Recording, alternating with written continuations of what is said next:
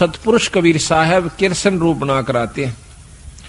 क्योंकि जहाँ पर महाराज कहते हैं, दास गरीब साहेब दुखता धड़े जहाँ किसी के साथ जुल्म होता है, वहाँ पूर्ण ब्रह्म परमात्मा आकर के मदद करते नहीं तो यू काल इनको खत्म कर दे। भक्ति उठ जावे, यहाँ से खत्म हो जावे, को भक्ति न चावे भी को ना। अरे तो चावे है काल के, भक्ति ना करे कोई किसी प्रकार। लेकिन बंदी छोड़ इस भक्ति की आस्था जमाए रखने की खातर खुद आकर प्रकट होते हैं। कबीर साहब ने खुद नरसिंह रूप बनाया था। अब इन बातों का अविश्वास न्यू होगा क्योंकि हमने यही सुना है कि विष्णु भगवान ने ही नरसिंह रूप धारण किया। अब हम आपको इसको बहुत लंबा चौड़ा उदाहरण देकर बतावांगे कई ऐसा होता है कि हमारे गुरुदेव तलवंडी भाई में रहते थे, वहाँ पर एक उग्रवादियों के समय में रास्ते में एक लाला जी तलवंडी का उग्रवादियों ने पकड़ लिया, उसकी मोटरसाइकिल भी उसमें कुछ उगाही करके आया था। शाम के दिन छिपन्न हुआ था। सर्दियाँ के थोड़े थोड़ी सर्दियों के दिन थे। तो रास्ते में पकड़ लिया, उनको मोटरसाइकिल वहीं डाल दी, उसको जीप में बिठा ले गए। जाके ईखों में बाँध दिया।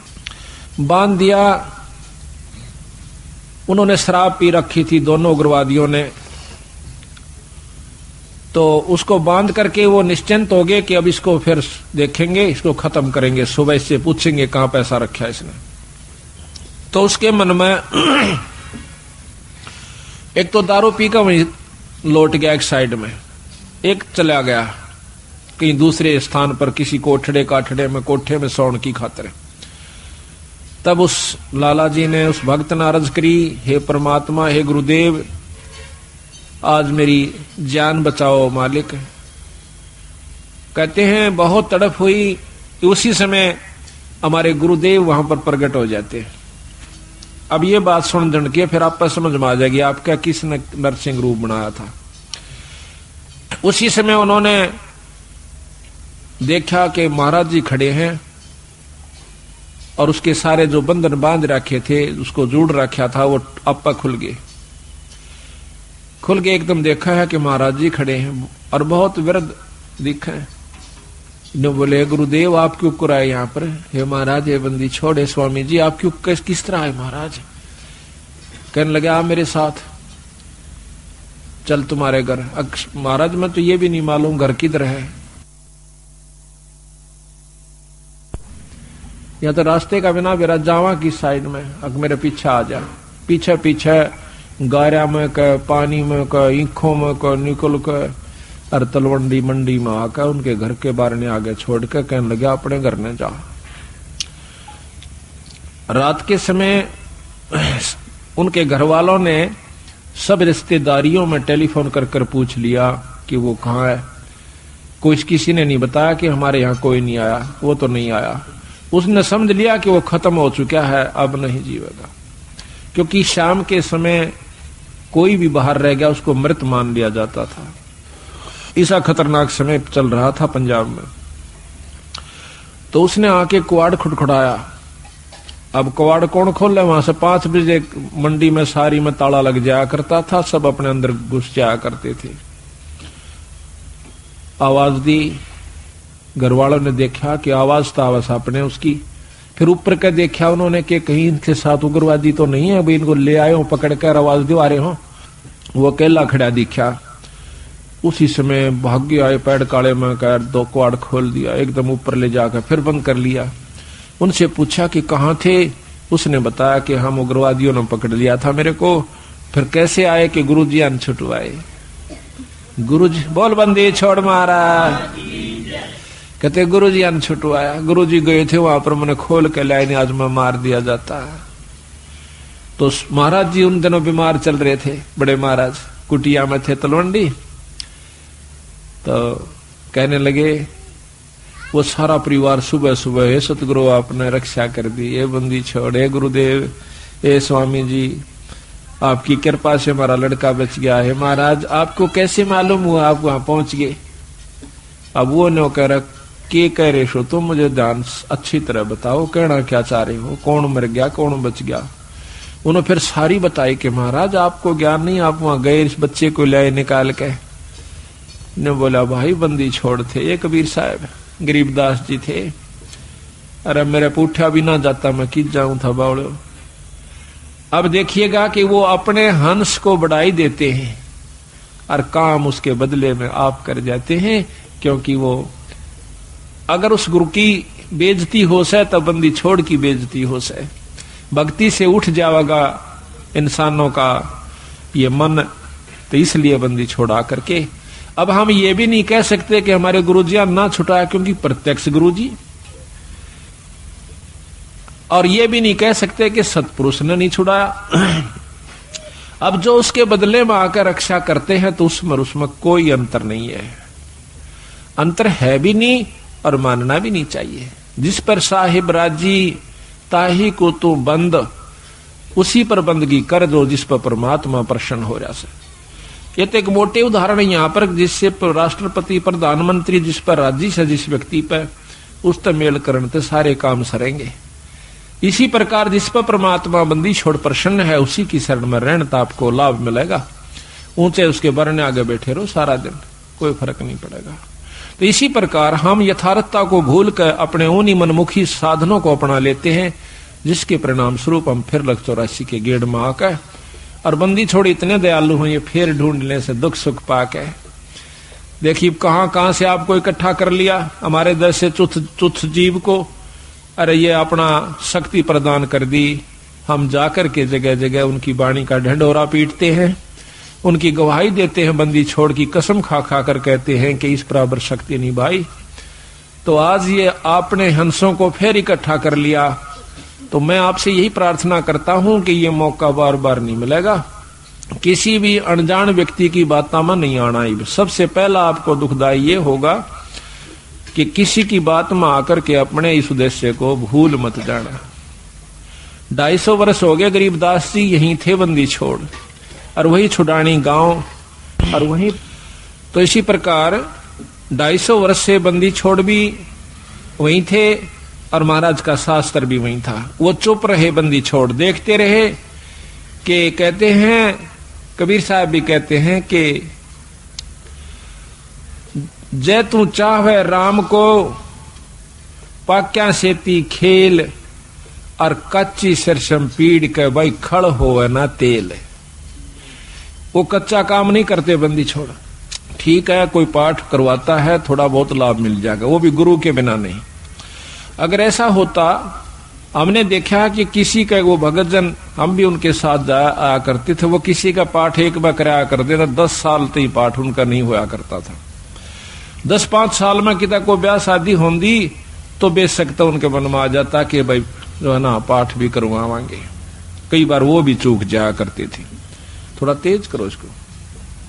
तो आज बंदी छोड़ की कृपा है कि हमारी ये पुण्यात्मा साल में तीन तीन चार चार पाठ करवा लेते हैं। एक तो सहमत हो जासे आप करवा दे, बंदी छोड़। ईसा सुख दे है, आत्मा नु उठे से एक बंदी छोड़ के नाम पे। ज़रूर करना चाहिए पाठ। ये पीछे यहाँ पर डिप्टी कमिश्नर थे, जो कि कल आए हुए थे, अब डायरेक्टर हैं ये, हरियाणा के, लोकल बॉडीज के। ये यहाँ पर है, श्री गुलाब सिंह जी स्रोत आईएएस तो इन्होंने, मेरे ख्याल में ये नवंबर में शुरू किए थे, हमने पहला पाठ नवंबर छियानवे में किया, और अप्रैल, मई में ये चले गए थे, ट्रांसफ़र होकर के डायरेक्टर बन के। अब देख लो, पाँच सात महीना में पाँच पाठ करवाए थे इन्होंने, और फिर एक कुटिया में करवाया। अब पिछली की हुई कमाई तो इनके सामने है कि आज एक राजा है। और अगली फिर दोनों हथा शुरू कर दी। बंदी छोड़ की वाणी का। तो इससे सिद्ध होता है कि बंदी छोड़ प्रसन्न है कि जो हम कार्य कर रहे हैं। और इसका परिणाम यही हुआ कि आपको यहाँ पर अवसर भी देते हैं, हिम्मत भी दे से और समय भी देते हैं और धन भी दे से। आपकी आप आस्था बन जाएगी। तो ये कच्चा काम नहीं करते बंदी छोड़ तो इन्होंने ढाई सौ वर्ष इंतज़ार करनी पड़ी कि कोई इस बात को समझ कर और नीयत से इसमें छल कपट नहीं चलता, इसमें पॉलिटिक्स राजनीति को बंदी छोड़ पसंद कति नहीं करता। ये हमने अजमा कर देख राखी अगर मैं भी कसूर करूँगा तो मेरा, वो दोनों बात से अपनी छतरी, अपनी छाया हटा लेगा ऊपर तय। और भाई ने वाह बात से घर तो बाहर लकड़ते पाला पड़े सही कर्म का। जाडा लगेगा सर्दी लगेगी। इसी प्रकार सतगुरु अपनी छत्र छाया में अपने बच्चे ने छाती का ला कर जिस प्रकार छोटे से बच्चे ने मात पिता और दादा गुदड़े में लको कर रखा करे, अकेले इसका सर्दी ना लग जा। तो न्यू हमारे को बंदी छोड़, जब उसकी शरण में आ जाते हैं, इस प्रकार रखे से। पर हमारी कुमत जो से थोड़ी को ना चौथे युग में आ गया इकट्ठी होती होती आ रही से। महाराज कहीं, युगन युगन की वासना हुई, इकट्ठी आण, निर्मल क्यों कर होगा, कोई संत लग्या नहीं कान।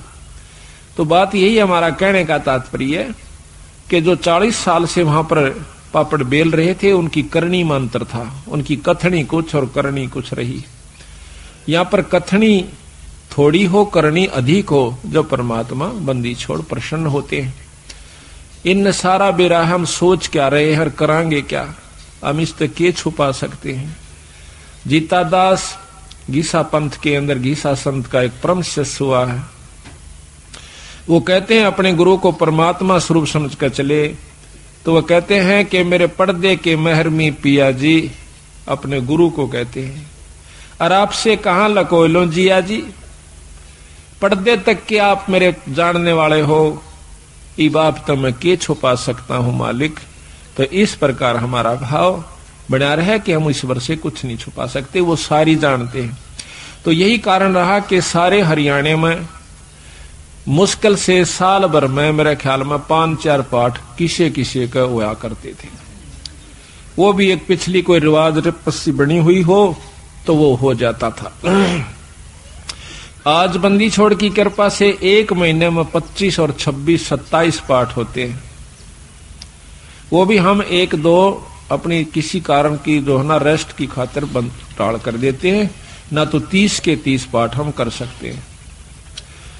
और इसी परिणाम स्वरूप आज मार्च तक हमारे पाठ आगे जा लिए, जबकि पहले तो हम करा करते तीन दिन में, तीन दिन के हिसाब से चला करता मैं। अब पाठ तो तीन दिन का ही होता है। लेकिन मैं सिर्फ़ एक रात्रि में जा सकता हूँ। शाम को जान पाऊ सो मध्य के दिन, शाम के समय। तो पाठ उसी दिन शुरू हो जाए जैसे आज पाठ एक शुरू हुआ था, कल दूसरा हो जाएगा, परसों तीसरा हो जाएगा। पाठ रोज एक प्रकाश हो जाता है। इसके हिसाब से लाइयो के एक महीने में 300 एक साल में 300 300 पाठ 400 चार, साढ़े तीन सौ पाठ हो जाते हैं। तो आप आप देखियो बंदी, छोड़ना दोनों हाथा बरसन लाग रहे हैं। आज हरियाणा, पंजाब और दिल्ली, इसमें सतगुरु की विशेष रजा होने लाग रही से ये तो शुरू से ही ऐसे थे बंदी, छोड़ आज के कोना सतयुग से चले आ रहे हैं। सतयुग से पहले के भी हैं ये तो। जब कुछ भी नहीं था, तब भी बंदी, छोड़ कबीर साहब थे, गरीबदास जी थे। सतसुकृत नाम से सतयुग में आए। त्रेता माय मुनिंदर नाम से द्वापर में करुणा में नाम से और कलियुग के अंदर बंदी छोड़ आज कबीर नाम से आए अवतार तो इनके और भी होते रहेंगे जैसे गरीब दास जी उन्हीं का अवतार थे लेकिन महिमा कबीर सा, कबीर साहब की रहेगी। एक नाम ही चलता है इनका शक्तियाँ उनकी आती रहेंगी नाम बदलते रहेंगे। समय समय पर आकर के अपनी हंसों को फिर इकट्ठा करते रहेंगे। हम तो बंदी छोड़ के नौकर हैं जिस प्रकार एक कुबाड़िया होता है, सेठ साहूकार, वो कुबाड़ी का काम करता है। वो अपने नौकर को, जिसको वो दस, बीस रुपए, तीस, पचास रुपए रोज के देता है, उसको के कर है, एक चुंबक दे दे से, डोर का बाँध कर और वो उस चुंबक को ऐसे घिसराते चलते हैं नो टेकते चलन से। उस चुंबक के साथ लोहे के कण जो कि रेत में रले हुए हों उसका चिपक जाते हैं। और वो क्या करता है, वो नौकर उसको उतार के अपनी झोली में डाल लेता है, फिर चुंबक रखना शुरू कर देता है। शाम तक 10-20 किलो लोहा वो ला करके कुबाड़िए को दे देता है। इसी प्रकार बंदी छोड़ने अपने नाम रूपी, बाणी रूपी चुंबक हमें दे रखा से। हम हर गाँव में इसको टिका टिका कर देख रहे हैं, जो बंदी छोड़ के हंस यानी अनुकूल व्यक्ति हैं। जो अधिकारी जीव हैं, वो तो सतगुर की बात सुनते चिपक जाते हैं। और जो कुबाड़ से, जो कि वो नहीं, उनके अनुकूल नहीं है सतगुरु का हंस उसने हम सौ बार कह कहला जब भी नहीं हमारी बात सुन सकता। क्योंकि जिस प्रकार लोहे ने लकड़ी पर सौ बार रख ले, और किसी चीज़ पर रख ले, वो नहीं पकड़ेगा। तो बंदी छोड़ के जो प्यारे हंस हैं, वो हर गाँव से इकट्ठे होकर के आज देख लो, कहाँ से आकर के, और दो तीन साल के अंदर अंदर, ढाई तीन साल के अंदर अंदर बंदी छोड़ की कृपा से हज़ारों की तादाद में भगतजन इकट्ठे हो गए। एक परिवार में शुरू हो से सारा परिवार बंदी छोड़ की शरण में आ जाता है। और अभी यही हो रहा है इसके विपरीत के एक व्यक्ति भी बिगड़ गया तो सारा परिवार का ही वही हाल हो जाएगा तो सावधानी ज़्यादा से इसमें अपने अहंकार मान ने खो कर रखे माटी समझ ले जैसे काल उदाहरण दिया था। तो इसी प्रकार दास भाव हमारे अंदर आ जाना चाहिए। आ, तो कहने हम ये चाह रहे थे कि वो कृष्ण भगवान जब वहाँ पहुँचे बंदी छोड़ कृष्ण रूप बना करके जाते हैं। अब देखिएगा कि परम शक्ति जो है, वो भगवान कृष्ण के भी साथ है, कबीर साहब। भगवान विष्णु ब्रह्मा के साथ भी है शंकर जी के साथ भी है, क्योंकि ये तीनों उनके शिष्य हैं। और हमारे तो वह बहुत अच्छी आत्मा है। परमात्मा इसलिए कहलाते हैं, उनमें दया भी ज़्यादा है, वो सहनशील भी ज़्यादा है। वो तीनों के तीनों, ब्रह्मा, विष्णु, महेश भी बंदी छोड़ के शिष्य कहते हैं, हमने ब्रह्मा को नाम दिया, ओम मंत्र दे रखा ब्रह्मा को। विष्णु को नाम दिया, हरियम नाम विष्णु को दे रखा है। और शंकर भगवान को सोहम मंत्र दे रखा सतगुरु ने। और वही मंत्र हम फिर उनके अनुसार भी जाप कर रहे हैं। तो उनका जो असली नाम है, वो अभी इनको नहीं दिया, क्योंकि इन्हों में वो भाव उत्पन्न नहीं हुआ।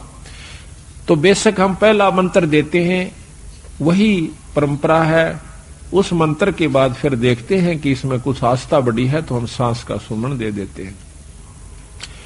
और और भी ज़्यादा वो परख की जाती है कि इसमें कितनी आस्था बढ़ ली है, उसके बाद फिर उसको सार नाम दिया जाता है। आस्था के साथ उसकी कमाई देखी जाती है।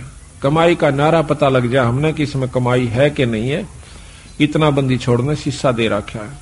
तो उसको सार नाम दिया जाता है। उसको वैसे नहीं दे। हम चाहे कितना प्यारा हो, चाहे काली मानो चाहे राजीरो वो उसकी इच्छा तो इसी प्रकार सतगुरु महाराज ने कहा कि नाम के बाद फिर शब्द दिया जाता है। सार शब्द। वो तो बहुत ही कति नो ताक है और परख के जमा घिस निकल ले है जीव की, जब दी जाती है। बंदी छोड़ने बता देंगे कब ये अधिकारी हो चुका है। जैसे काल आपको बताया था। ये सारी बहनी दराज है। बीच में रास्ता छोड़ दो। सारी इधर हो जाए बीच कंबल का साथ रास्ता ना इधर बहुत जगह है ना, दूर तक बैठो। इधर आ जाओ सारे। एक दिन तुम ख्यास करा करो भाई बीच में। हाँ खड़े होकर ना, इन बेबर ने पर इन्होंने बैठा दिया। तो इस प्रकार अब भाई साइड सी में रहा करो इधर सी आगे नहीं अड़ो। फ़िल्म वाले इधर सी होकर के या इधर सामने खड़ा हो जाओ वहाँ पर, या और साइड देख ले अपनी कोई सी। सुनने वाले ने नौका ने चेहरा दिखना चाहिए बोलनी का, जब पता लग, जब मन लग गया से इनका, है? साइड सीम और इधर पकड़ थोड़ा सा।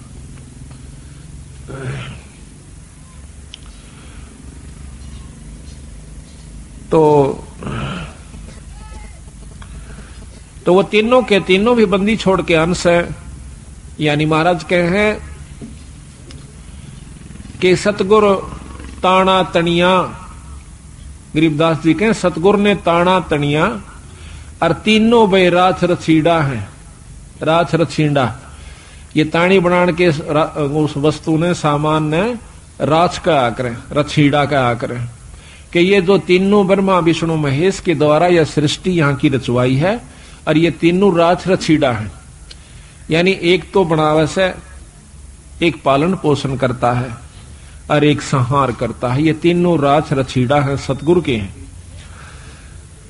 तो यहाँ पर भगवान कृष्ण के रूप में सतगुरु महाराज आते हैं और आके कृष्ण भगवान पूछे है। क्योंकि अब कृष्ण का ही रोल चलेगा वो।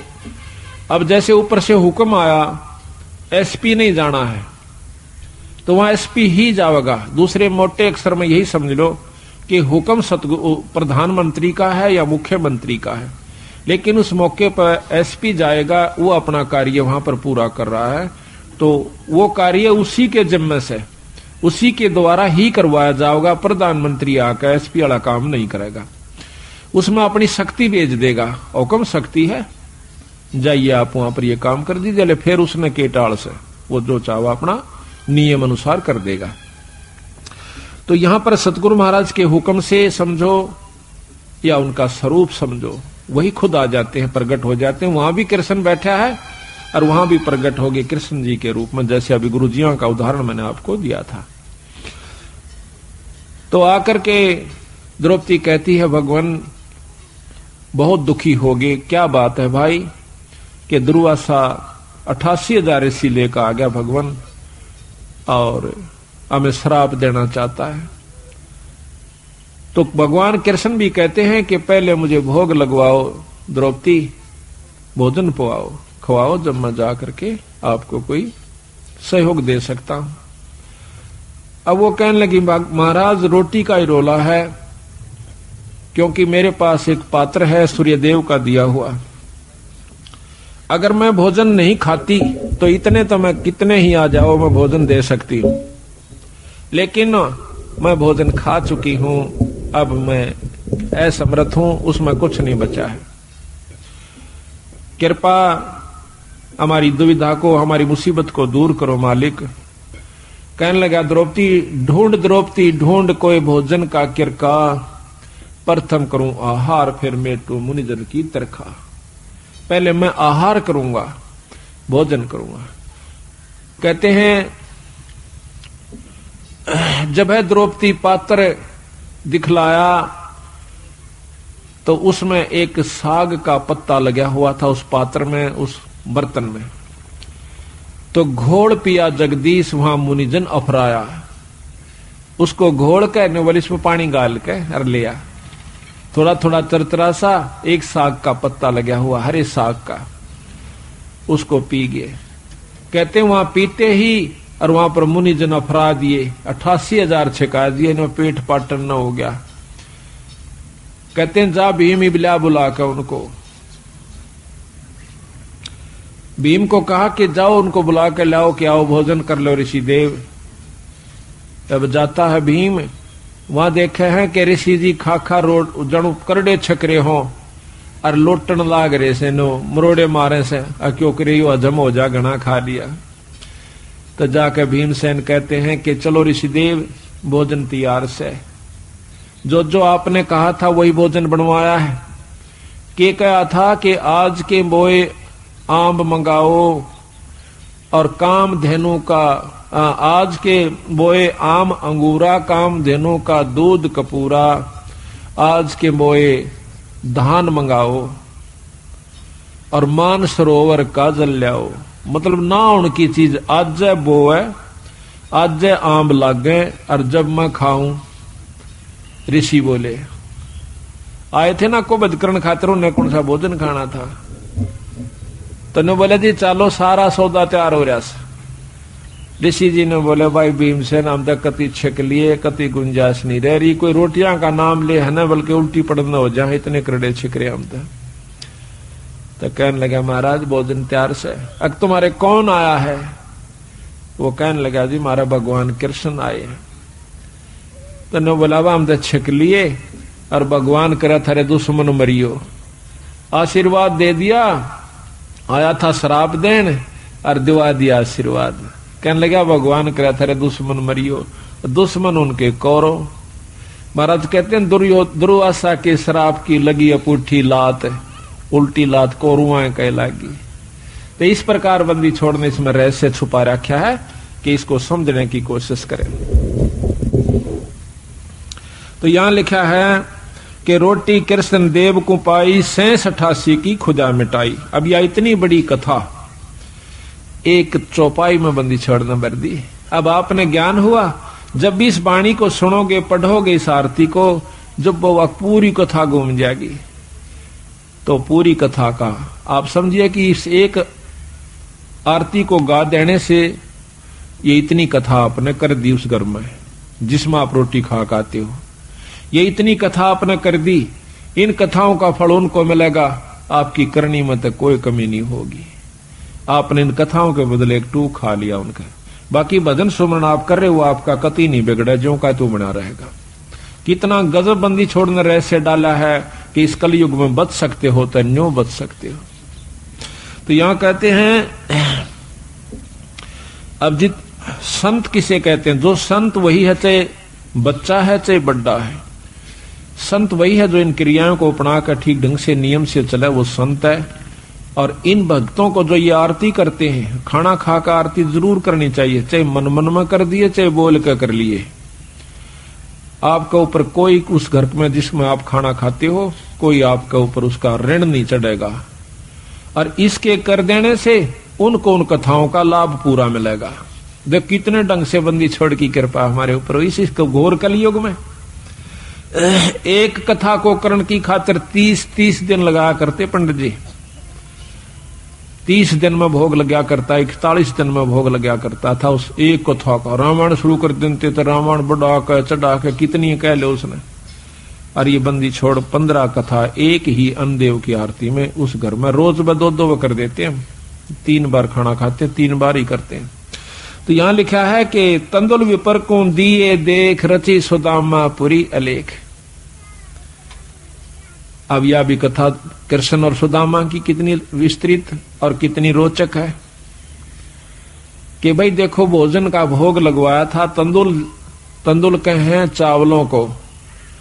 भगवान कृष्ण को सुदामा जी ने जब चावल खवा दिए तो उसके बदले में उसकी सुदामा पूरी रची, नहीं तो नहीं रची। क्योंकि पहले भी तो प्रेम था, पहले के वो जाना नहीं थे कि सुदामा हमारा प्यारा से, दुखी हो रहा से। पर जब तक वह भोग नहीं लगवा लिया चावलों का, मुट्ठी भरकर नहीं खा लिया भगवान कृष्ण ने, तब तक वो कुछ नहीं कर सके था। समर्थ होते हुए भी नहीं कर सके था। इसी प्रकार बंदी छोड़ हमें बताते हैं, आप बंदी छोड़ का पाठ करवाओ, उसके नाम पर कुछ दान धर्म करो तो मैं करूँगा। वे उनसे परम समर्थ हैं। कृष्ण भगवान से असंख्य गुणा ज़्यादा शक्तिवान कबीर साहब हैं।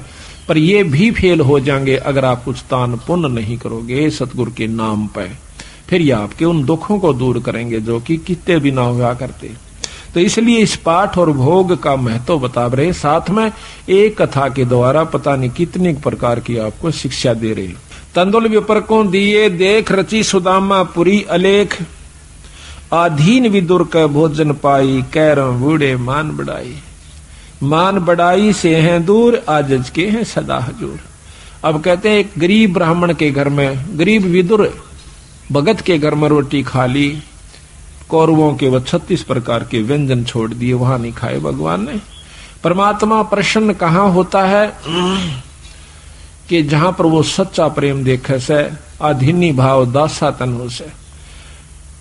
एक बहुत लंबा विस्तार से कि भक्ति करे बिन भाव रे सो कोने का जा, और विदुर का जीवन चले गए तजदरी हो दन राजा। भगवान कृष्ण विश्व विदुर का भोजन खान चले गए। राजा दुर्योधन के वो क्यों मेवा मान मिठाई नहीं खाई। मेवा वगैरह जो ला रखी थी। तो कबीर साहब भी कहते हैं कि खीर खांड पकवान मिले भाई साकट संग नहीं जा। और लूखा सूखा भगत का रुचि रुचि भोग लगा। साकेट के घर में रोटी खान नहीं जाचे, उड़ा वो क्या है, मैं कितने अच्छा व्यवस्था कर रखी हो। और लूखा सूखा अपने भगत का उस आनंद बना ले हुए। वो सुखी होगा, भगत संत जो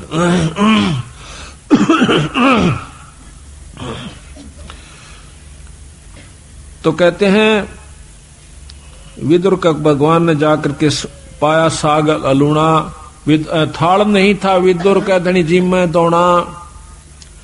और कहते हैं, छतन व्यंजन छत्तीसों छोड़ कर पाया साग अलूणा अनूना, जिसमें नून नहीं था, नमक नहीं था, और वो हरा साग खा कर बंदी छोड़ने। यानी भगवान कृष्ण ने खुशी मनाई। मान बड़ाई से हैं दूर, आजज के हैं सदा। हजोर बोक बाकला दिए विचार बहे चकवे कई एक बार। बोक बाकला। बाकड़ी बना, एक बार अकाल पड़ गया था, बहुत भयंकर। अन खत्म हुआ।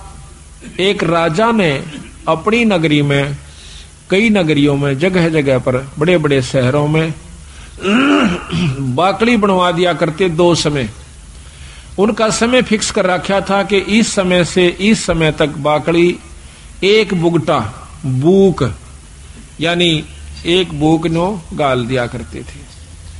जोड़ी में गलवा के उसको खाओ अपना। दूसरी नहीं मिला करती उसको।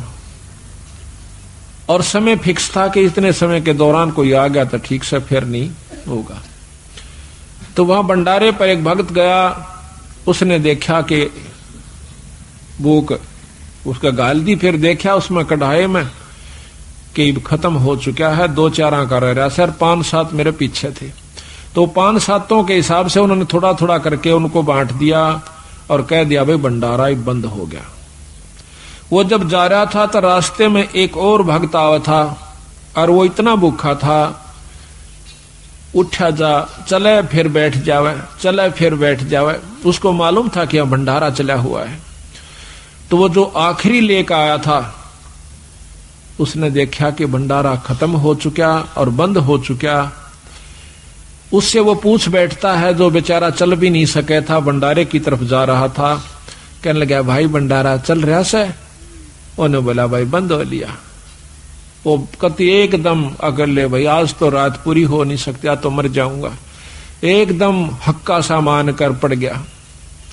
उन्होंने बोला भाई न्यू ना करे ले मेरे दो से तू ये ले ले और वो उसने भी भूखा उसने भी दो तीन दिन हो गए थे रोटी खाए उस भूखे का गवा अपनी भूख यानी वो बाकड़ी कर दी ले ले ले वो तो इतना भूखा मरे था कि एकदम सारा ने मुँह उठा गटाया कौन उससे के आंजड़े मैंने फटाफट सारा ने खा गया और वो देखता रहा अच्छा के लेने दे देखी जाएगी अपनी तो जो बनेगी उसकी जान बचा दी।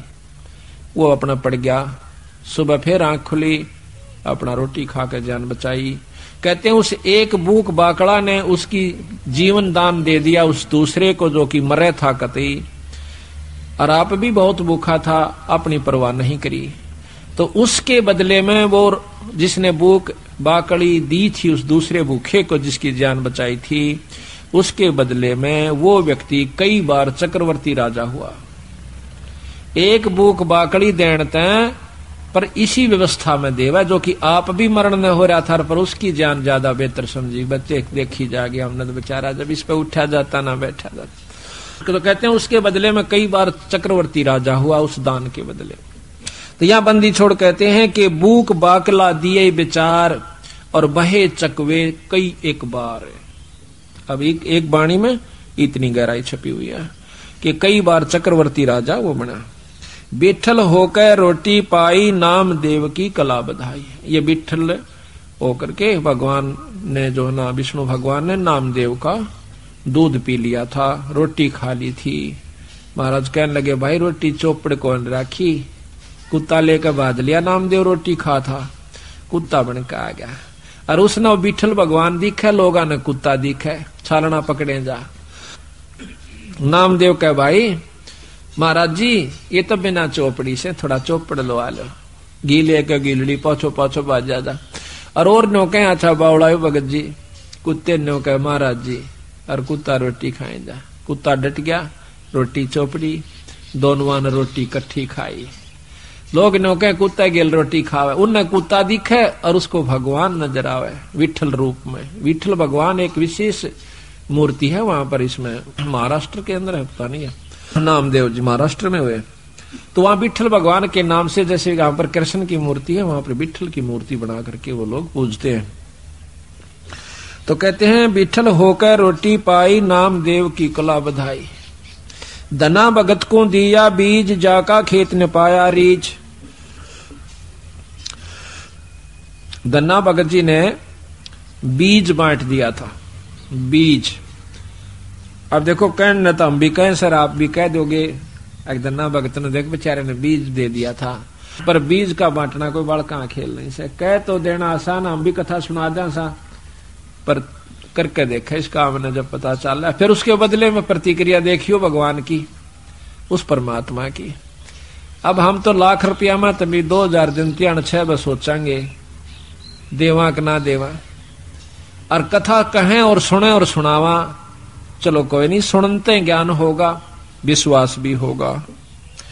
दन्ना भगत जावा था, कई साल में तो बारिश हुई, पहले इसी बारिश हुआ करती कभी कभी उसकी घरवाली ने कहा कि लो जी, भगत जी, ये ज्वार बोया। और चालन लाग जब जालन लाग गया ना, वो लेकर ज्वार दड़ी पक्की। जो बोली, देखे कहते इन्हें किधर राम बांट जा तो? इसने बोया, ये नहीं बालक भूखे मर जाएँगे, राम भी। मुश्किल तो बारिश हुई से। वो बोला, ना बो, क्या आऊँगा उसने जाकर के रास्ते में जावा था, बंदी छोड़। अब यहाँ फिर वही रहस्य आता है। जहाँ जिसको उबारना है, बंदी छोड़ बिना कोई उबर नहीं सके। आपको सौ प्रमाण दूँगा, ऐसे ऐसे।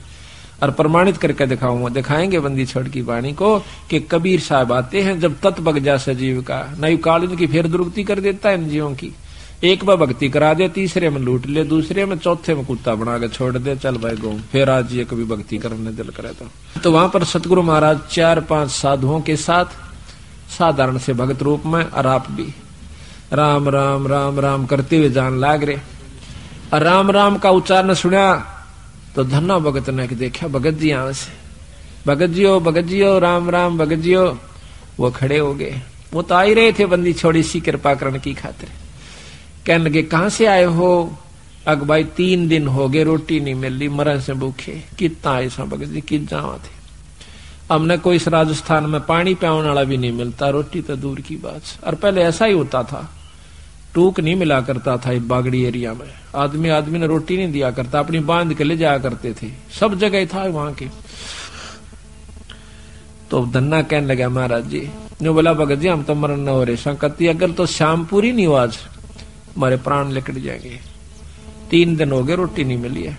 तो वो कहने लगा भगत महाराज जी, मेरे पास तो ये ज्वार से थोड़ी सी, या खा, देख लो महाराज। अकेला भाई, ज्वार दे दे भगत जी, हम तो मरे से भूखे। बैठ के सारे चारुआ ने किलो किलो ज्वार फटाफट खा गए। उसकी आँखें आ गया भूखा मर्दा करा के खा जा, कुट, कहते हैं, बाढ़ कूट कूट के खाई लोगों ने। बोधी बाढ़ को कूट के जब पेट भरा नितांत काट दे आपस में एक दूसरे ने खत्म हो जाते तो ज्वार खा गए दन्ना बैठा बैठा खुशी से खवा का भी मन में नहीं होनी आई इतने ज्वार खुआ दी बगर के के कहेंगे। अगबोण की कई थी बो दिया भगत अपने हिसाब से बोए हैं और जगत अपने हिसाब से बोए है। वो बोला घरवाली आ, आ गया वापस काकर कट्ठी करी खेत में भगा दी और काट दिए मोटे मोटे है जाइए। घरवाली ने बोली के बोया अग बोया अब झूठ भी नहीं, वो अपने हिसाब तो बो का आया जगत अपने हिसाब तो बोया था। धर्म भी बोना होता है। असली बोना तो यूँ सजो कि हम धर्म पर कर, लगाते हैं। अब महीने, दो महीना के बाद देखे हैं, लोगों का तो ज्वार हो रही गोडा गोडा यानी तीन तो दो ढाई ढाई फुट। और भगत जी का जा मेरी बेल, और उसमें से मोटे मोटे तुम्बे, जिसके अख्तारे बनते हैं। पड़ोसन ने आके बताया, आए, थारा तो बेल जामरी से ज्वार को ना अकना ज्वार का पेड़ा भी कौन उसमें वर्क, एक भी पौधा को नहीं अब उसके दिमाग गोड्डे तक गए, टूट किसने खा ली मत ये भगत जी ने करा नाश ये भी कितना कर का ज़रूर है। उस तो उड़ा नहीं बोली, क्यों रोज की रोज माथा मारा इसकी गेला, अपना देख का आऊँगी। खेत में जाती है, देखा स वह बात इसे मोटे मोटे तुम्बे लाग रहे उसका एक बात, कसूता काम हो गया पारा शिखर में। बहुत काली मानी। जुलम कर दिया इसने तो। दुनिया के तो जुआर खड़ी। और देख मारा ये। वह, लेकर एक तुम्बा करना आगी।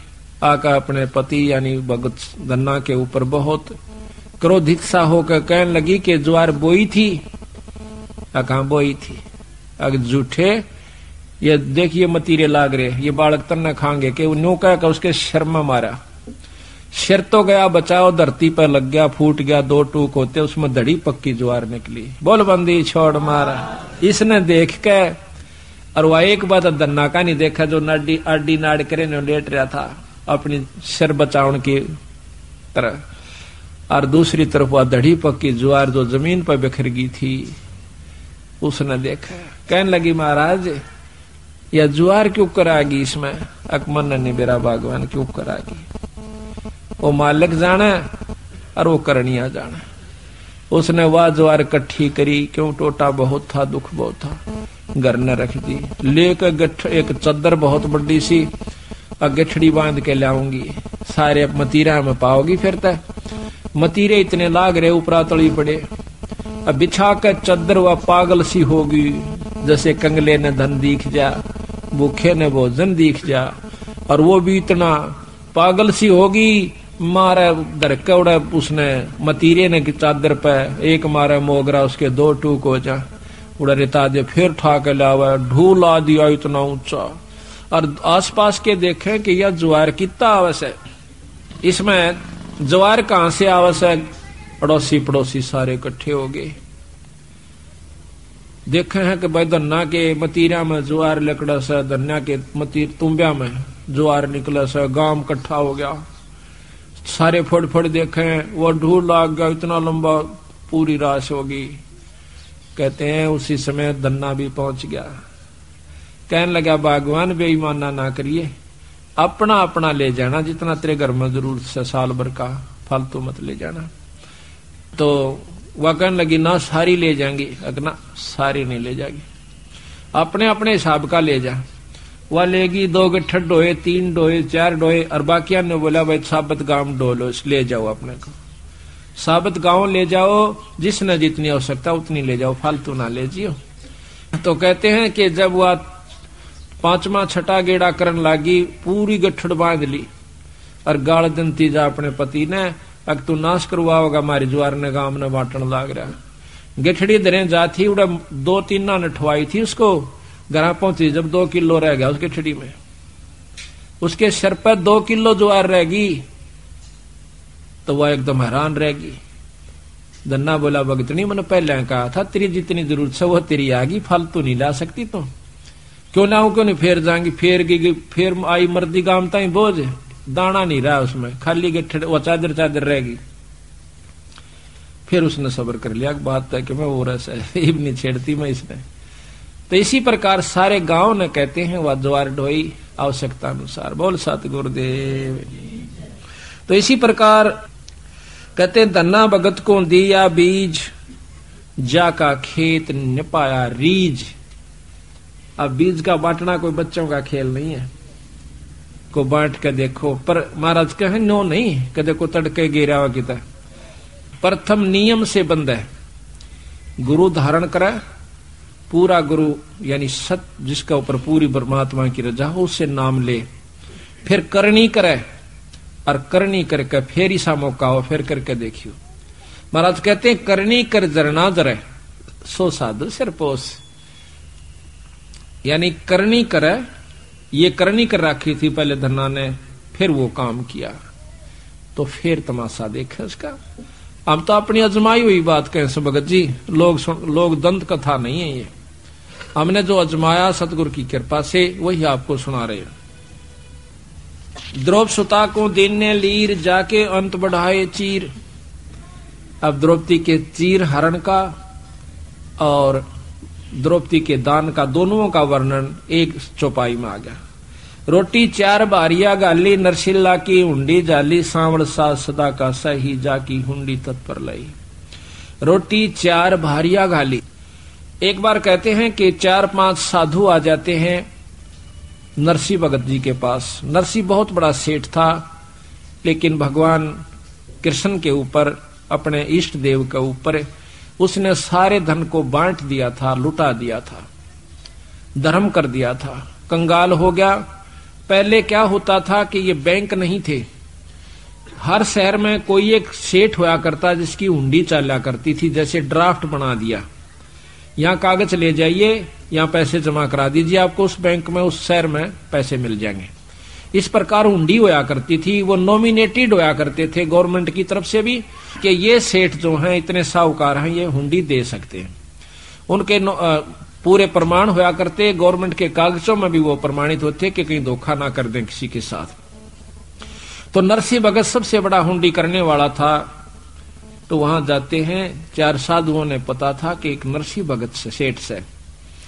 पहले भी उन्होंने करवाई थी। लेकिन जब वो गए, वो तो बाहर बैठा खेता में जोफड़ी गाले एक ने पूछा, भाई, नरसी सेठ कहाँ है? एक से पूछा कि वो तो भाई बाहर जोफड़ी में रहता है। उन्हें सोची, चलो वैसे चला गया, होगा, वहाँ बैठा होगा, वहाँ जाके कह लाला जी ये पाँच सौ रुपये ले और हुंडी बना दे, हमने मुत द्वारका में जाना से। वहाँ पर घुमा फिरांगे राम ऐसा काम से देखो, हमारे पैसा ना खोस ले। उन्हें बोला, भाई, मत कंगाल हो गया, मेरे द्वारा गुंडी नहीं बनती। मेरे पास कुछ नहीं है भाई मैं तो राम नाम का तो सेठ सू। ने बोला, लाला जी, दुखी नहीं करा कर दे संतान हम कितने बार ना आगे, बार बार आवा से। हमने बौड़ा मत बनावे टूंडी बना दे, ना तो शराब दे देंगे। लाला जी ने सोची, भाई, ये अच्छे पल्ल पड़े मेरे। मन फेर कही, अग लाला जी, तू मान जा, मेरी मारी बात ने दुखी ना करे, तू जल्दी बना दे हमने देर हो से। उसने तो फट कुछ गाँव वालों ने उसके उसके साथ मज़ाक कर दिया था शहर वाला ने। वो बोले, बस सब तो बड़ा सेठ बता दो, हमने वो नरसी की तरह नरसी का नाम उन्होंने ज्ञान था। ने बोला सबसे बड़ा सेठ है तो नरसी है भाई रो नूर ने उड़ा से ने बोला लाला जी, हम सब पर पूछ का, ऐसे ऐसी बात नहीं। भाव ये से कहने का, उसने मजबूर होकर के अपने परमात्मा को साक्षी लेकर एक कागज़ पर फटाफट लिख दी, और सेठ का नाम, उस अगले सेठ के नाम लिखनी पड़ती है। कि ये फलाने सेठ से ले लेना, मैं उसके साल भर में हिसाब आपस में वो कर लिया करते थे। तो भगवान कृष्ण के नाम, यानी सांवल नाम के सेठ पर भगवान कृष्ण को सांवरिया कहते हैं, सांवल कहते हैं। तो सांवल सा सेठ के नाम ते वह हुंडी लिख दी। लिख दिया, सांवल सा टीका चढ़ा के और पाँच सौ रुपये मन नगद वसूल पाए और ये पैसे इन साधुओं को दे दीजिए। आपकी रकम सुरक्षित है। ऐसा लिख के वह हुंडी दे दी। अब आगे जाके पूछे को सांवल नाम का सेठ ना? द्वार मथुरा में? द्वारका में? द्वारका में। मथुरा में नहीं, द्वारका सबने पूछ लिया, सेठा पे, भाई, द्वार सांवल सा नाम का कोई सेठ नहीं है, सांवल नाम का सा कोई नहीं है। और नरसी नरसी तो भाई कंगाल हो लिया उसकी तो हुंडी फेल हो रही है, बावड़ा। तुम तो ठग लिए उसने। आछे मूर्ख रखी जा फंसे। तुमने देखा नहीं झोपड़ी में बैठा होगा? कहा बैठा था झोपड़ी? मारी तकल मारी गई भाई। अब सारे घूम फिर के आखिर में वो एक लवा जाके बेचारे अपने बैठ जाते हैं साधु बणी में। इतने में अब नरसी देखा है, क्योंकि जो परमात्मा पर आश्रित हो जाता है, यहाँ बैठा देख सकता है कि उनका काम कौन बना। नरसी ने सोचा, भाई, की बात होगी? हाँ पीछे से नरसी ने उन पाँच सौ रुपया का भंडारा कर दिया। सब संतों को, भक्तों को खिला दिया। तो उसके बदले में उसने वहाँ पहुँचना था भगवान ने। फिर भी प्रगट नहीं हुए। तो नरसिंह ने सोचा भी की बात होगी? इब तैना प्रगट हुए। अपनी पत्नी ने बोला कि जो भंडारे का सामान आया था, वो सारा बरता दिया या नहीं बरताया? वह कहने लगे, जी, वैसे तो सारा बरता दिया, पर ये पलोथन लगाते हैं ना, जो रोटी के साथ सूखा आटा लगा कर फिर आके रोटी पोया करते हाथ से तो कहने लगे, ये पलोथन की बचे है थोड़ा सा आटा, यू पाइया से सवा पाइया, इतना बच रहा से जो बोला रोटी बना फटाफट इसकी। उसकी रोटी पानी का हाथ लगा करके चार रोटी बनी, वो एक भगत को खिला दी, उसी से में सावल सा प्रगट हो गया। अब देखो, भंडारे का एक नया पैसा एक एक नया पैसा, ये हम हर एक को महाराज जो है ना शिक्षा दे रहे हैं, जब वह उभारा होगा, जब हम जैसे भंडारे के नाम का जो आया है, चाहे आटा हो, चाहे नमक उसको भंडारे पे लावे। अगर इस पर नहीं लग सका तो अगले पर अपना नोट करके धर ले, वज्जों का तो सारा लग जाना चाहिए। या और कहीं भंडारा हो रहा है तो वहाँ पहुँचा देना चाहिए। वो पैसा सारा भंडारे का भंडारे में लग जाएगा तो उस खाने, देने वाले को पूरा लाभ मिलेगा, ना तो नहीं मिलेगा। ये नियम है। तो उन चार रोटी बनाकर बांट दी। उसी समय भगवान कृष्ण के रूप में वो शक्ति और दोनों का नाम तो कलम टांग रहा, मारवाड़ी सेठ, सिर पर टोपी और ढीली धोती और आके बई ले रहा काख में। घूमदा फिर उड़े पहुँच गया। ने बोला, भगत जी, महाराज जी, आप नरसी की उंडी ले रहे सो। अकरा, क्या का नरसी उसने तो मारा जो है धोखा कर दिया। अगना ना ना ना न्यो ना कहो रहे वो धोखा करने का आदमी नहीं से मारे गिल कर रखा रहे न्यो कुकुर ना से अगना धोखा करने का को नहीं रहे वो। मैं सू भाई सांवल सेठ। तू सह कहा? हमने सारे ढूंढ लिया था। अब कोई बात ना, मैं थोड़ा सा लेट हो गया।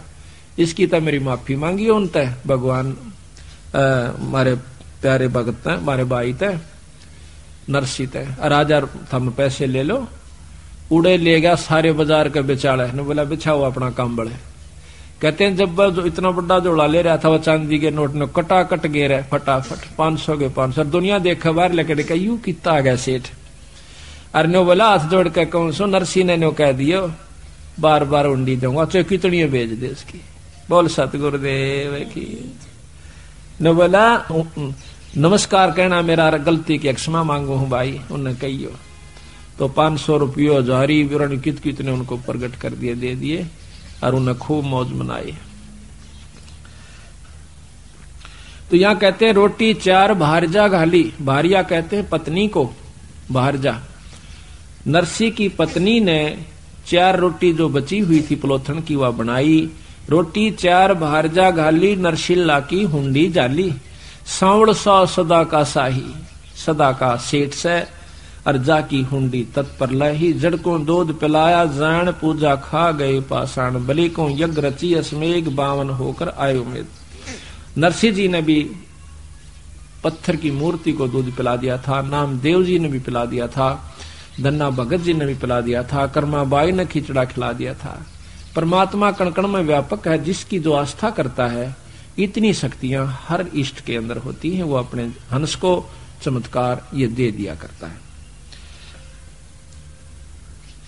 अब आकर के बंदी छोड़, अब देखो, एक आरती में भी कितनी गजब की कथाएँ लिखकर सार क्या देवन से ही जानते सुनना वो भगत, वो संत आपको राज, ये ये परमात्मा आपको राज दे सकते हैं। जैसे बूक बाकड़ा दिए बेचार, बहे चकुए कई एक बार। तो भगवान के नाम पर उन्होंने जो दिया तो चक्रवर्ती राजा बना दिया, फिर गधे की जुन्नी में। इसी प्रकार पुण्य करने का लाभ इन इष्टों से भी होता है, खूब होता है लेकिन जो बंदी छोड़ की शरण में आकर ये दोनों काम करे जा तो दोनों लाभ होते हैं। मुक्ति भी होगी और वो ठाठ भी होंगे। अब ये प्रमाण करें, जैसे तीन पेड़ जग दिया दान बलि बावन को बलि छले निदान। अब यज्ञ करी बलि राजा ने भगवान विष्णु ने आकर के बावना रूप बनाया। उसके बदले में उसको पाताल का लोक दे पाताल रा, का राज दे दिया इंद्र की पदवी नहीं दी। उसके बाद फिर वो इंद्र की पदवी पावेगा उसके बाद गदा बन जाओगा वही बलि राजा। और बंदी छोड़ की शरण माए पाछा के बनेगा ये अब सुनिए। के नितबन कपड़ा देते भाई जाकर नौलख बाल दाई अपना इसी प्रकार सतगुरु महाराज ने बताया कि सर्वस सौंप देत साहेब को का जिन के सरिया सर्वस सौंप देत साहेब को सर्वस। यानी सब कुछ परमात्मा के नाम पर जो सौंप देते हैं, उन्हीं के काज सरेंगे। सर्वस सौंप देत साहेब को काज जिन्हों के सरिया के जिस प्रकार भगवान कबीर साहब क्या किया करते थे कि अपनी ताणी बना करते थे। और ताणी बनकर वो रेजे को जितना बिक जाया करता था, मान लो पाँच रुपए का बिक गया, दो रुपए का राशन घर में आवश्यक है तो तीन रुपये का वहीं पर भंडारा कराया करते थे। तो इस प्रकार करने से सतगुरु महाराज ने बताया है तो आप पूर्ण लाभ प्राप्त कर सकते हो। तो ऐसा करने से क्या हुआ कि जब समय सजा किसी ने उन मज़ाक कर दिया था बंदी छोड़ के नाम पर कि कबीर भंडारा करेगा और अठारह लाख व्यक्ति आसपास के काशी में इकट्ठे हो जाते हैं। बंदी छोड़ को नीचा दिखाने की खातिर किसी ने धोखे में वो पत्थर डाल दिए थे। तो बंदी छोड़ कहते हैं, जो इस ईश्वर के नाम पर सर्वस्व सौंप रखा वो दूर नहीं से। उसी समय कबीर साहब ने, यानी पूर्ण ब्रह्म परमात्मा ने केसों का रूप बनाया और नौ लाख बैला का ऊपर और बॉडी भर के उनमें गुणा में। महाराज कहते हैं, इसका बहुत लंबा प्रकरण से। इसको थोड़ा बाद में लेंगे या मोटा मोटा सुना रहे हैं। तो नौ लाख बैला का ऊपर परमात्मा पूर्ण ब्रह्म सतपुरुष केशव रूप बना आ जाते हैं। और अठारह लाख व्यक्तियों को तीन दिन तक भोजन करवा करके चले जाते हैं। अब कहते हैं, बंदी छोड़ के अगर हम इस ईश्वर के नाम पर न्यू, ये एक उदाहरण दिया उन्होंने। एक करके दिखाया, बंदी छोड़ने के मैं दूर नहीं सू, जब तुम न्यू होकर चालोगे तो भी दूर नहीं सू। तो उसके बदले में नौ लाख बैला का ऊपर और पका पकाया, तंबू ताण दिए सारे काशी के चौपड़ के बाज़ार में और वहाँ पर इतनी ऊँची पूरी पूरी है तो पूरिया का ढूल आ गया पाड़ की पाड़ पड़ी से अठारह लाख आदमियों को जमाना को हँसी खेलो से। महाराज के बिना पकाया, पक रहा, ना चिपी रांदनी चौपड़ के बरजार लगी है चांदनी। बड़े बड़े मसाल चलसरे स्थान स्थान पर और जो जहाँ बैठा संत, उसको वही भोजन मिल रहा से। चावल पड़े हैं तो पके पकाए नीचे सुंदर, सफ़ेद, उनके ऊपर कपड़ा का ऊपर है, के मज़ा उनका मिट्टी भी लग रही हो, और पाल की पाल पड़ी से। सब्ज़ी है सूखी तो सब्ज़ी का ढूल आग रहा से। और बना रखा तो उन बर्तनों का बना रखे कढ़ाई के कढ़ाई भरे पड़े से। तो इस प्रकार उन्होंने जमा दिया। तो यहाँ महाराज कहते हैं, फिर दूसरा नाम क्या है? कि अवगत केस, दूसरा काम क्या बंदी छोड़का कि अवगत केसो नाम कबीर तात टूटने जम जंजीर। अब काल की जो असली दुख से हमारे को दे रखा जन्म और मरने का ये भी बंदी छोड़, कबीर साहब की कृपा बिना नहीं कट सकता। इनकी शरण में दोनों लाभ, उनकी शरण में एक लाभ। अब देख लो, कहते वो लाभ चाहिए, वो भी दूँगा तुम्हें, और साथ में तुम्हें मुक्त कर दूँगा, जो कि असली दुख हमारा है। इस दुख को हम समझ नहीं पाते हम इन्हें रिवाज मान रखी है कि भाई, बच्चे भी होया करें, पाल पोछ दे, ब्याह छा दे, निफराम होगी निफराम क्या होगी तो दुर्गति मोल ले ली तना आगे की। आगे जो पहाड़ तो बड़ा दुख से भी आने वाला तेरे ऊपर है। कुत्ता, कल देखी हुआ खाजली सी कुतिया, जब तया पटरानी बनी बैठी थी, ने कहती कि ले रहा सत्संग तो गंदी औरत जाया सत्संगा में। तो लफंडर आदमी आए काम से, अरे वो कुतिया बनकर वो अभी खाज लाग रही सारे मुँह पर कर, कड़मा के। उसके ये बॉर्डर टूक ने जूता पिटती हंड से, और सत्संग में भी आओ से। तो बात यह है कि हम, अब मौका है महाराज, कहें, समय है भाई, चेत सके तो चेत। अब चेतन का समय आ गया है जागरण का समय आ गया है। तो यहाँ कहते हैं कि रोटी तिमर लंग को दीनी ताते सात पात सौ लेनी। कबीर साहब कहते हैं कि तने राज भी दूँगा। सात पीढ़ी का राज तिमर लोंग नाम के तिमुर लंग नाम के एक लोहार को। एक रो, दो रोटी लेकर उसकी माँ आई थी गरीब हालत थी और एक रोटी खाई थी कबीर साहब ने। एक रोटी के बदले में और सात पीढ़ी का राज तिमर लंग को दे दिया। ये सोर्ट करके सुना रहा हूँ क्यों आपको कई बार सुना रखी है कथाएँ लंबी लंबी से। पर इतना समय नहीं है ज़्यादा क्योंकि सात दिन में तो यो तो छह महीना में भी खोल कर ना सुनाया जा सकता बंदी छोड़कर लगातार सुनो जब भी, भी। क्योंकि ये कथाएँ हम हर सत्संग में सुना देते हैं आपको इस करके अब यहाँ थोड़ी सोरट ले रहे हैं। तो बंदी छोड़ने उसकी सात पीढ़ी का राज दिया लंग को। कहते हैं, रोटी ही के राजर पाट, रोटी ही के हैंगज ठाठ, रोटी माता, रोटी पिता, रोटी काटे सकल बिथा। दास गरीब कहें दरवेशा, रोटी बाटो सदा हमेशा। अब दूसरी आरती है बड़ी। अनदेव की बड़ी आरती, उसके अंदर भी बंदी छोड़ने एक विशेष रहस्य दबा रखा है। आरती, अनदेव तुम्हारी मुन सुर नर मुनिजन अन के हारी। चाहे देवता हो कोई भी है वो रोटी अन्न खाते हैं, अन्न बिना गुजारा नहीं हो सकता। तैतीस कोट करत हैं आशा अंदर संयम पूर्ण स्वासा, अंत कोट वैष्णु धुन गावे, अन्न पुरुष का भोग लगावे वशिष्ठ विश्वामित्र व्यासा, अन्न देव की करते आशा कोई भी ऋषि हुआ, चाहे संत हुआ, अन्न की आवश्यकता पड़ी। मारकंड लोमस ऋषि लाहा, नाम देव का बड़ा उमहा। लोमस ऋषि आज बहुत बड़ी उम्र के, सबसे ज़्यादा लंबी उम्र आयु है उनकी। और उन्होंने भी कहा रोटी बिना काम नहीं चला। मारकंडे भी बहुत बड़ी उम्र के हैं बहुत अच्छे तपस्वी हुए हैं साधक हुए हैं। उन्होंने भी भोजन पाना यानी अन्न सबसे उत्तम बताया सतगुरु ने। अन्न दान भी बहुत उत्तम है। शेष पुंडरिक पारासर परसे अन्न देव को नितुट चर्चे। शेष महेश गणेश्वर गौरा अन्न देव को पावे भौरा। शंभु मनु प्रियवर्त उत्पान उत, उत्तानम ध्रुव प्रहलाद अन कुर्बानम। काग भूषण अन की आशा, पुरुष विदेही शब्द निवासा, चौसठ योगनी बावन बीरा, अन को पावे नाम कबीरा। अन भोगे बाजीद फरीदा, अन बिन कमल ना हो वह सीधा। रोटी खाए बिना कड़का बाँस सीधा नहीं रहेगा। कमल मुस जाते हैं जो अंदर परमात्माओं के दर्शन होते हैं जिन पे। अन खाने से वह खुले रहते हैं, उनमें शक्ति रहती है। और अन्न खाने से फिर वो अपनी साधना से खिल जाते हैं। अगर अन्न नहीं खावा तो वो कति खत्म हो जाते हैं। मुर जाकर के इकट्ठे हो जाती, खालड़ी में उनकी छोटी छोटी जमानु बंद हो जाती है। अन्न खाने से वो थोड़े सी करड में रहते हैं और फिर जाप मंत्र से वैसे खिल जाते हैं। उसमें ईश्वरीय शक्तियों के दर्शन होते हैं।